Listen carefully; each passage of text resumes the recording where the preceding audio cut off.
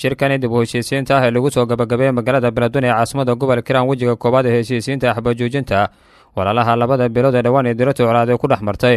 Deegaano hoosega magaalada beledweyne ee gobolka hiiraan gaar ahaan deegaanka kabaxle oo ka mid ah deegaanada waqooyi ee magaalada beledweyne ee gobolka hiiraan ayaa waxaa ka qayb galay.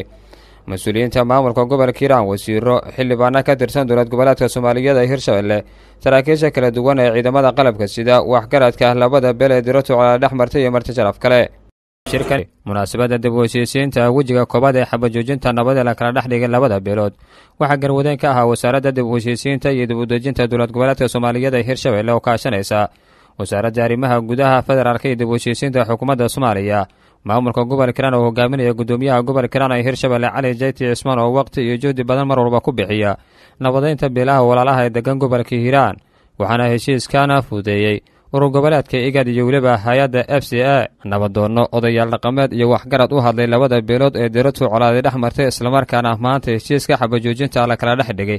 Ayaa sheegay inay nabadda ay qaateen islamarkaana si wada jira u saxiixay heshiiska xabajoojinta nabadeed oo ka koobnaa dhowr qodob iyadoona beel walba ay dhankeeda ay ballan qaadeen inay dhaqan geli doonaan heshiiska xabajoojinta ee maanta la kala dhex dhigay. Aniga magacayga waxaa la yidhaha cilmi hagar guure waxaan ahay odayaasha dhaqanka beesha xawaadle labadaas beelood oo ah xawaadle iyo faqa muxamed iyo faqa cumar. Horeyaan nabaddaas u qaadannay ugaaskeenna noo qaaday biduuni sharuudaan ka soo baxnay muddo aan u malaynaya laba bilood in laga joogo. Maanta oo ay tahay siddeed iyo labaatankii disembar labada kun koob iyo labaatanka waxaannu qaadannay xabad joojintaas inay dhaqan gashaanan rabnaa muddo bil iyo bar gudahoodana oo maanta ka bilaabanayana waxaan doonaynaa in laysugu yimaado wadahadal wax alla wixii la kala tabanayana ayadoo loo daba kacayo shareecada islaamka inaan ku kala qaadanno soddon iyo shan casho gudahood. Waxaan halkaan iskugu nimid waxaa waaye colaaddii dabada dheerayd oo intii muddo ay soo socotay haddii marka wuxuu ay wakhti soo socdaan wixii wakhti soo socdayna haddee wakhtiga ay dhammaanayn horta ilaahay baa og. Maanta waxaan meeshaan u fadhinaa waxay tahay annaga dhanka annaga beesha surre inaan qaadannay xabajoojintii koobaad. Waayo xabajoojintu waa dhiig joojin waaye qof kastayna dan u tahay. Taa marka waan qaadanay xabajoojinta insha allahu gogashana wakhtigii loo ballamay waa soo geli doonnaa aad iyo aad u mahadsantihiin. Rooble axmed daahir oo ka hadlaya afka wasaaradda arrimaha gudaha federaalka iyo dib u heshiisiinta xukuumadda soomaaliya ayaa si kooban dhankiisa uga hadlay muhiimadda heshiiskan xabajoojinta ah ee la kala dhex dhigay labada beelood ee diratu colaadee ku dhex martay dhowaan deegaano hoos yimaada magaalada beledweyne ee gobolka hiiraan. Qodobka koowaad waxaa weeyaan in si shuruud la'aan ah loo joojiyo xabadda lana kala fogeeyo cid walba oo hubaysan oo amni darro ka abuuri karta goobihii horey loogu dagaalamo in wadahadal la isugu yimaado soddon iyo shan ayaan ku soo koobnay markaan samaynay xoogaa khalad yar baa dhacay markaan fiirinay de annagu diyaargarowgayga iyo waxaas iyo doorashooyinka lagu jiray arrimahaas soddon iyo shan maalmood gudahood ah. Kama kana bilaabanaysa maalinta heshiiska la saxiixo. In laga fogaado isdhexmar kasta oo sababi kara colaad dil dhaqdhaqaaq colaadeed amni darro iyo barakac in laga fogaado wax walba oo colaad iyo kalsooni darro keeni kara sida hadallo xanaf leh oo warbaahinta laysu mariyo kicin bulsho iyo horin colaadeed oo dhiig sokeeya ku daato haddaba ciddii ku xadgudubtay heshiiskan la gaaray waxay si buuxda u qaadanaysaa mas'uuliyadda ka dhalata ama dhibaatada ka timaada waxayna mutaysanaysaa ciqaabta hoos ku qoran.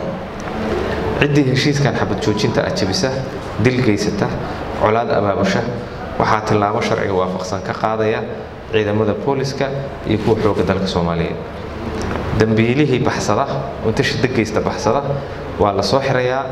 Haddii la waayana waxaa loo soo xirayaa dadka ugu dhow oo damiinkiisa leh sida aabbihiis adeerkiis walaalkiis iyo nabadoonkiis intaas wey waxaynu kala saxiixayno. Taliyaha qaybta booliska dowlad goboleedka soomaaliyeed ee hirshabelle gaashaanla dhexe xasan dhicisow xasan iyo gudoomiyaha gobolka hiiraan ee hirshabelle cali jeyti cismaan ayaa dhankooda si wada jira uga hadlay heshiiskan xabad joojinta ee la kala dhex dhigay labada beelood waxaana gudoomiyaha gobolka hiiraan ee hirshabelle cali jeyti cismaan uu sheegay in ka maamulhaan ay ka go'an tahay sidii nabad waarta loo kala dhex dhigi lahaa. Dhammaan beelaha dega gobolka hiiraan ee u dhexeeyaan xurgufaha colaadeed asigoona saraakiisha ciidamada ammaanka kula dardaarmay inay dhaqangeliyaan heshiiska xabajoojinta ee la kala dhex dhigay labada beelood ee diratu colaad ee ku dhex martay. Deegaanada hoos yimaada beledweyne gaar ahaan deegaanka kabxanley soona dhoweeyey heshiiska xabajoojinta ah ay maanta wada gaareen waxgaradka labada beel dadku waa dad walaala waa dad ahla waa dad dirisa oo isla dhasha dhammaantood naf iyo shaydaana xiriiro way imaahaya mararka qaarkeed inay dadka ay wax kala gaaraan laakiin waxaa wanaagsan in leesu safro leesu yimaad la wada hadlo maadaama iyaguna ay garteen inay arrintaas ay wada saxiixaan xabajoojintaas annaguna waxaan leenaha waa soo dhawayhaynaa waa mahadsantihiin anigoo ku hadlaya afka ciidankana ciidanka qalabka sida ee soomaaliyeed in waxaan diyaar u nahay in heshiiskii meesha laga akhriyey oo labada beeloodba ay saxiixeen oo lagu ballamayo xabajoojinta ahay. Inaan asiga annaguna aan waafaqno dadka haddii xooggoodu kala tago oo qalbigoodu isla jiro in laysu keenahay waa fududahay laakiin haddii qalbigoodu kala fogaado isu keenistoodu waa adkaataa ilaahay qalbigiinna ha isu keeno. Labadan reer. Waxaan ilaahay ka baryaynaa qalbigiinna ilaahay inuu is ogolaysiiyo addoon ilaahay baan ahay waa idiin ducaynaynaa taa markaa intaa uga gudbo sida sarkaalkayga horreeyo hadlay korneel xasan ciisow waxaan rabaa nabad ilaahay bay ku xidhan tahay. Allah nabaddu ku xidhan tahay. Laakiin bini aadanaan nahay ee iskuday baa la rabaa. Waxaa labadaa reer ku heshiiyeen ee ay kala saxiixdeen ee xabad joojinta ah. Inaan ilaalinno inay ballan noqotaa la rabaa cidda ugu horraysa oo inay dhowrto la rabaana waa ciidamada qalabka sida wasiirka wasaaradda dib u heshiisiinta iyo dib u dejinta dowladda hirshabelle jene cabdikariin caluur ayaa u mahad celiyey maamulka gobolka hiiraan hay'adaha wasaaradda ka caawiyey arrintani odayaasha dhaqanka labada beelooda madaxda sare ee hirshabelle waxaanuna kula dardaarmay odayada iyo waxgaradka labada dhinac inay dhaqangeliyaan heshiiskan xabajoojinta ay maanta ay kala saxiideen asigoona ballan qaaday inka wasaarad ahaan ay ka shaqayn doonaan. Qabsoomidda shirka dib u heshiisiinta muddada lagu ballamay si loo soo gabagabeeyo. Colaadda u dhexaysa labada beelood iyo waxyaabihii sababay. Waa kan wasiirka oo arrimahaasi ka hadlay waxaana hadaladiisii ka mid ahaa. Ilaahay ayaa mahad leh. Maanta waxaa noo soo gabagaboobay shirkii xabad joojinta ahayd.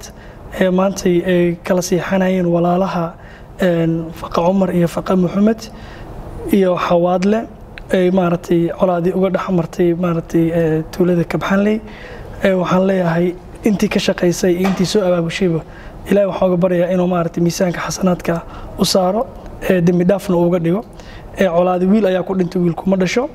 Maaragtay heshiiskaasna maanta ayuu noo soo gabagaboobay. Waxaan si maaragtay aada ugu mahad celinayaa guddoomiyaha gobolka oo aada noola shaqeeyey. Maaragtay dhammaan dhallinyarada maaragtay degmada oo ayagana qaybtooda ka qaateen nabadeyntan iyo odayaasha reer hiiraan iyo culamaa udiinka oo isku howlay in muddaana ku jiray heshiiskan labada beelood maaragtay colaadooda soo socotay in muddooyin badan. Waxaan aada ugu mahad celinayaa intii ka qayb qaadatay maaragtay gogashan ay kow ka tahay maaragtay f c a iyo igad oo maaragtay saboorti gareeyeen inay maaragtay qabsoonto heshiiskan haddayna labadaas hay'adood aysan ahayn ama maaragtay igad iyo hay'adda f c a igad waa dowlad dowlad madax bannaan. F c na waa hay'ad. Labadaas haddaysan ahaan lahayn maaragtay waxaan aaminsannahay shirarkan socday dhowr iyo tobanka maalmood. Maana noo qabsoomeen falilah alxamdu oo noo soo gabagaboobay waxaan ka codsanaynaa odayaasha dhaqanka ee labada dhinac in ay dhowraan muddada la cayimay ee la qabanayo shirweynaha dib heshiisiinta maaragtay waxayna ka dhici doontaa magaalada degmada beledweyn haddii ilaa yidhaahdo caasimadda gobolka hiiraan waxaan aad uga codsanaynaa labada beelood inay wakhtiga dhowraan wakhtiga la ilaaliyo insha allahu tacaala. Khaalid maxumed ismaail kacase telefishinka caalamiga somaali news beledweyne